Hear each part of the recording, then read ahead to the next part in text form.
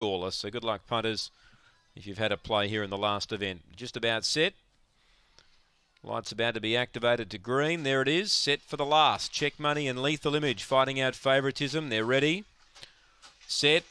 Racing, good line. We got speed here in the middle from Lethal Image and booting up Westgate Girl. So Westgate Girl led Lethal Image. There's not much in it early. Check Money squeezing between is coming at the leader now. Fourth is Peter Lee. Uh, then Pre-Code Burning Glow. Oh, there was massive trouble there. Westgate Girl found bother and Lethal Image was left six in front. So it's home. Lethal Image darts away. Check Money ran to second. Third Burning Glow. Fourth Peter Lee. Westgate Girl, well, she was leading down the back. But she's uh, found some bother. She ran second last and pre-coat last in. Well, they were tight up front. Something had to give, and Lethal Image was left in the lead. And she roars away to win well. For Nicole Price, number five, Lethal Image. Love to see the replay again because uh, by the time I got back to them, it was looking like it was getting squeezy up front because Check Money was trying to go underneath Westgate Girl.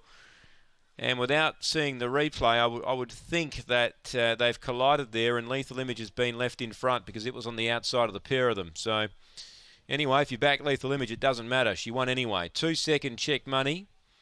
Check money second, number two. Eight third, Burning Glow. One fourth, Peter Lee.